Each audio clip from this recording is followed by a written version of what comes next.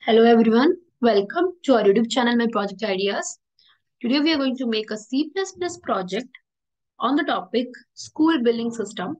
So without much delay, let's begin. First, we'll be seeing the requirements of this code. Firstly, we require an IDE for running and compiling the source code. Second, a code editor. And third, an operating system. We move to the code part here. First, we have all the header files included. Then we have a structure named DAT, which helps us to store the date, the month, and the day. Here we have int dm, where d stands for day and m stands for month. Then we have a scanf function, a CL scanf function, which checks whether the class is from 1 to 12. Then we have a struct structure named student, where we have the struct dat dt, that is the dt data type then we have some floating data types. F, fine, total, advance, due, where F stands for the fee. Then we have a character array named N. Then we have int integer variables R and C, where R stands for roll number and C stands for class. Then we have the structure named teacher, where we have all the teacher attributes, the character array N, the struct dat dt, the float variables which are salary, advance and total. Then we have integer variables which have ID and the number. Now we have certain functions like the check date function where this function is used to check the date as the name suggests. Then adding records function that is add addrec. Modrec which stands for modifying records. Search rec for searching records. Del rec for deleting records and salary for the calculation of salary of teacher and staff.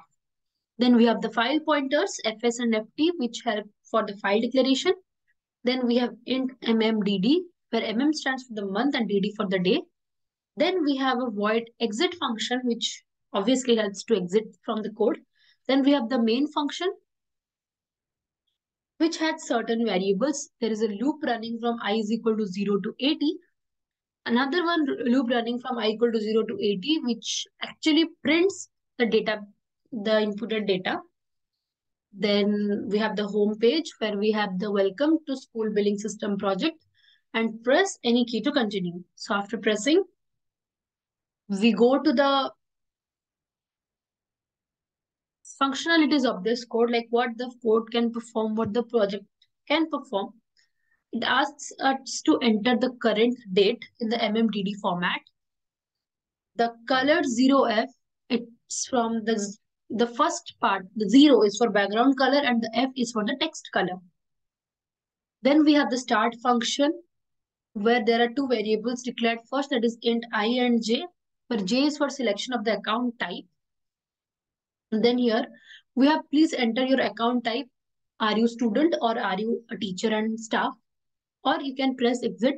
So here we need to choose our account type, after which we go to the particular operation of the particular case.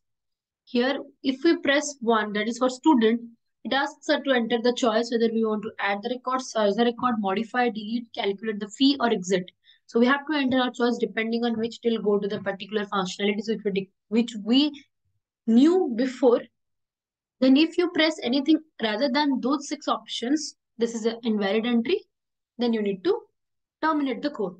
In the case to the stands for the teacher and the staff, here again all those functionalities are there. Instead of fee, we have the salary here. Again, you have to enter the choice and particularly you will be driven towards that particular section of code. Here we have the add rec or the addition of record function where C CDAT stands for month till which the fee is cleared and D that stands for the date till which the fee is cleared. And the FF is used to calculation of fee of different class. Then we have this beautiful uh, code that is add record under which we have the enter the number name of the student, the class, the roll number, the month and date till which fee, fee is paid, fee of the different classes, month of fee which is left to be paid. So these all things we can display here. Then here we need to open a binary file in the append mode so that we can read, write, and enter the new thing into the file. So after which it asks us whether you want to continue with this process or not. We need to press either small case y or capital case y. Accordingly, we can perform our operation. Then for the case 2, we have the name of the teacher of the staff to be inputted, his ID, so his number of classes and shift per month, and the month and date till which his salary is paid. After which it calculates the stuff and uh, asks us whether we want to continue with the process or not. If yes, we have to press Y or capital Y. Then we have the search record. Here, we need to define the search type, whether we need to search by name, by class, by roll number. So out of the three, you need to enter your choice. Accordingly, you will be driven to the particular code or the particular section of code actually. So here, uh, depending on those optionalities, functionalities, we are driven towards the code. The name, class, roll number, monthly fee, last fee paid, due, fine, total, everything is displayed. Then if your choice is 2, you need to enter the class of the student to search. So accordingly, again, it will go to the file, search for that particular data and it will display. For the roll number also the same thing goes on. Then we need to enter for the teacher. We need to see for the teacher. So if you are a teacher and you are trying to look into the code, it will ask you the name of the teacher, the ID, the month till which his salary is paid, the monthly salary and the advance paid. After which it will go to the particular section of the teacher file. It will show you everything. It will retrieve the content from there. If you need to modify the teacher's record, then you have to modify by name, his uh, salary, his ID. Then for the student, it is his name, his name and class, and name, class, and roll number. So accordingly, you need to enter the details so that you can perform the operations. You need to enter the new name of the student, the new class of the student, and the new roll number of the student, which you need to change. Then after which the record has been successfully updated, that thing will be displayed on the screen. And this is what, if the record is not found due to some reason, it will display that, sorry, the record which you were searching for is not found in our database.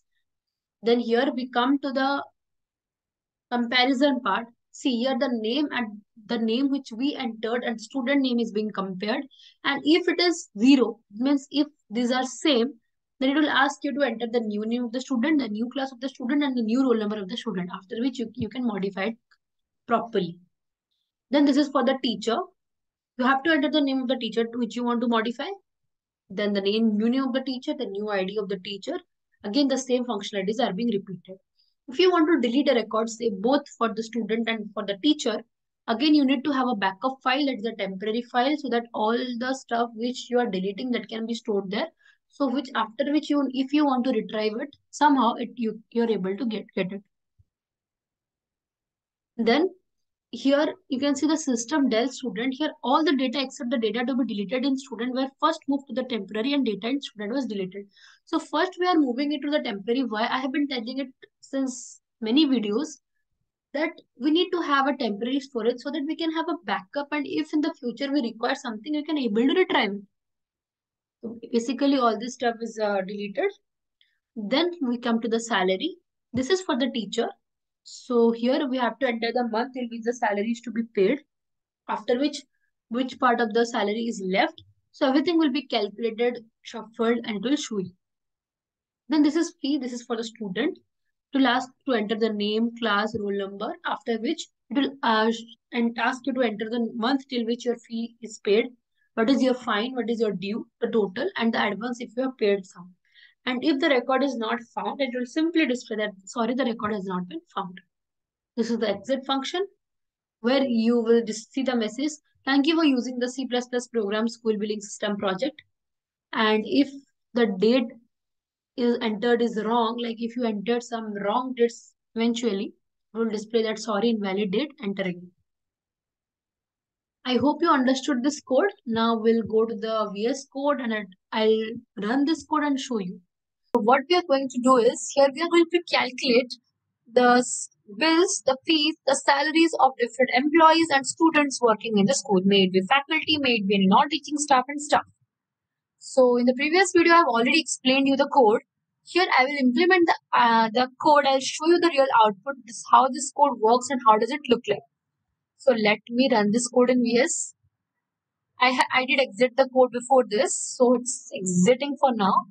Now what I'm going to do is I'm going to run it again. So I ran the code here. So this is a beautiful graphics that you're going to get. And I have to press any key to continue. Okay. Now I'll press any key. Just look at the transitions, guys. So what's the month? Today we are in April 11th. So this is 4 and 11. What I'm gonna do is I am gonna enter for student. I have to add a record. The name of the student is Simran. My class is 12th. My roll number is 12 and my fees is paid till 12 my fee month and day okay. So my fees is paid till so we're in april so let's say march 0 to okay feb 0 to 11 so i want to continue okay yes. Next student is anish. His class is also 12 his roll number is say 10 and his fees is paid till jan 11 so I don't want to continue more. So what I'm gonna do is, now I'm gonna go for student again. I will calculate the fee.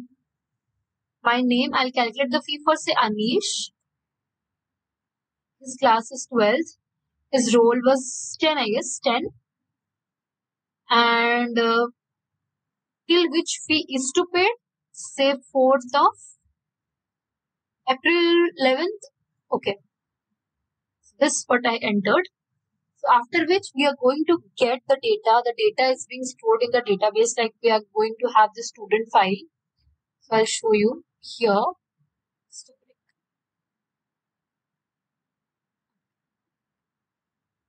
What he's going to do is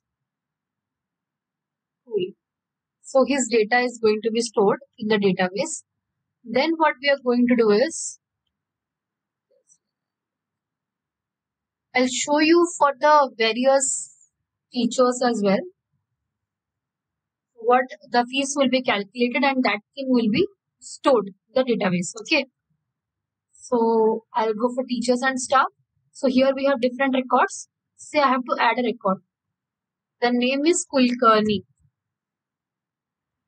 A favorite name for teachers his ID is 123 he has taken 23 shifts and his salary is to be paid till today.